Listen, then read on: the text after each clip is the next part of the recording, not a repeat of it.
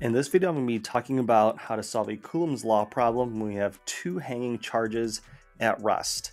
So these could be um, pith balls, they could be balloons, they could be any little object that is charged up, which means it has an excess of electrons or it has um, lost some electrons. So in this case over here, we have two gram masses that are hanging at rest. And what are their charges if they're equally charged? So this problem can seem pretty complicated at first because there's not a whole lot of information, but you have to remember that when you draw all the forces and set up your formulas, um, a lot of times once you have an angle and you find one part of the triangle, you can find um, multiple different components of the forces. Okay, so with that being said, if we're taking a look at this problem, we have two objects, um, we'll call them Q1 and Q2. They're both charged up they're clearly repelling each other because each one is getting pushed away from the center. If they were attracting each other, they would just get pulled in and probably just hang vertically and sort of stick to each other.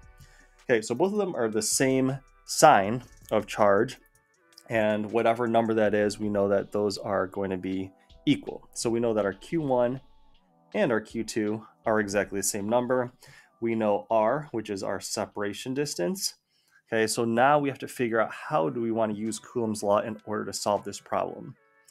All right, so what I'm going to do is I'm going to start off by drawing my force diagram and then drawing out a couple formulas that represent the forces in the x direction and the y direction.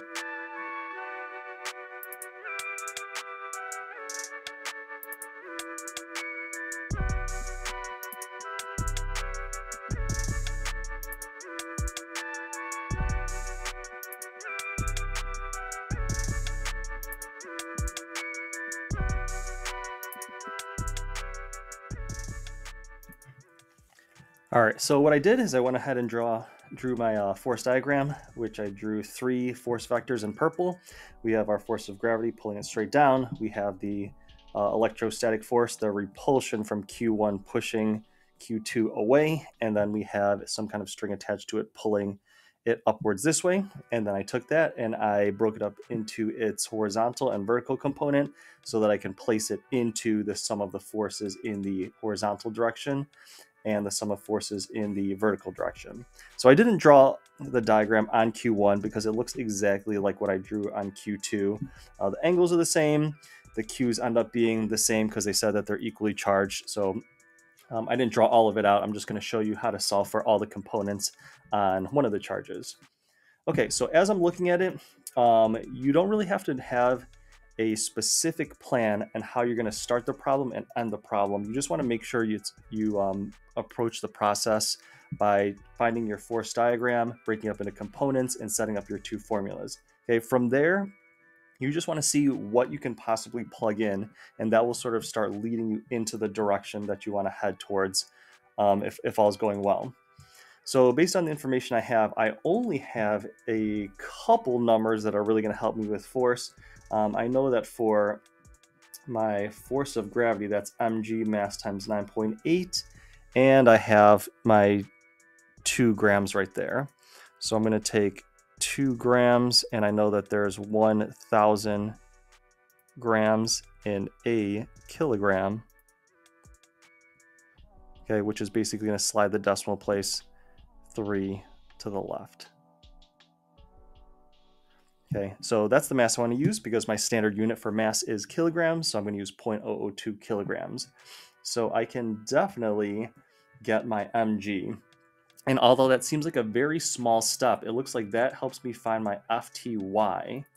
And if we find our FTY, that's one component of our triangle. And then once you have an angle and one component of your triangle, then you're pretty good to go because you can solve for all the rest of the components. So let me go ahead and solve for my MG.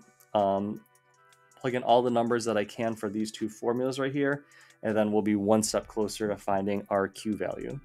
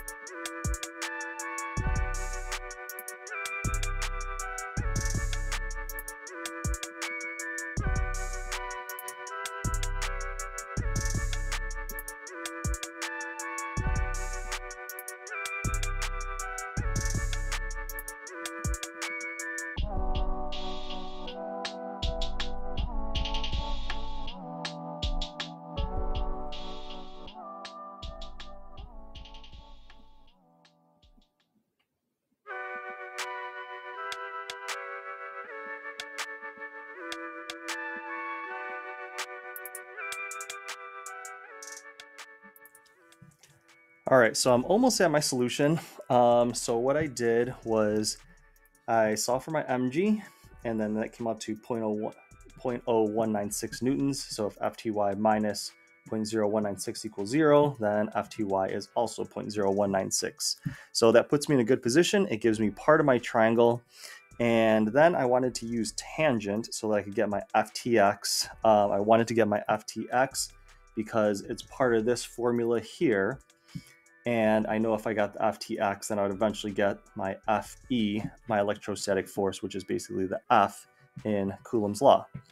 So I decided to use tangent as my trig function because from the 30 degrees, I wanted to use the opposite over the adjacent. So my FTX over my 0.0196, multiplied both sides by 0.0196, and my FTX came out to 0.0113 newtons, which is the same as my FE.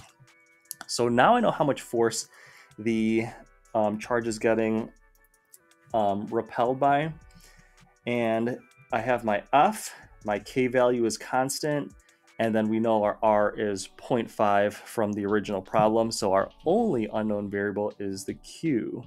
So all we have to do is we can go ahead and slide over here to the left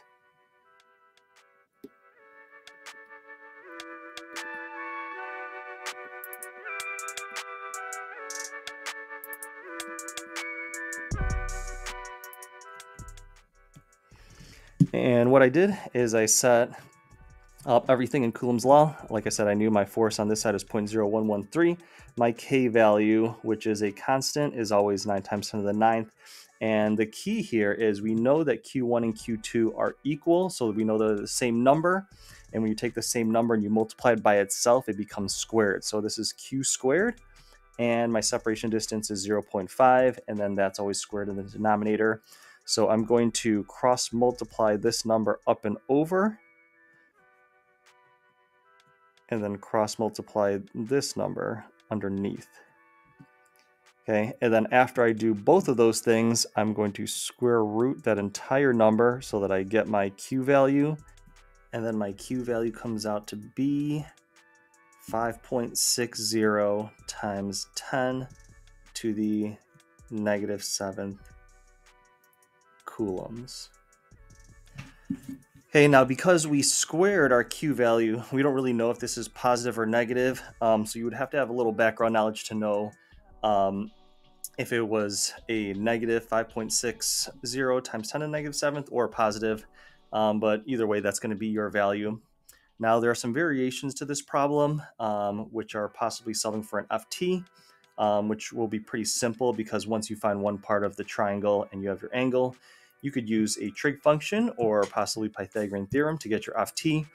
And then there are other variations where you have to find the mass. And if you did have to find the mass, then you would be given more values to begin with. Like maybe you would get the Q and then be able to solve for your FE and then basically solve our problem backwards to where we're like solving for parts of this and then work our way down to here to solve for the mass. But either way, the setup is all pretty similar. So you want to make sure you start off with your force diagram, break everything up into vertical and horizontal components, and then set up your formulas from there. Okay, as I said before, you don't necessarily need to know every single step you're going to take initially, but you just find all the pieces that you can, and then that will slowly take you in the direction of finding your solution. So I hope that was helpful in helping you solve a Coulomb's Law problem involving two hanging charges at rest. Thank you for watching and listening.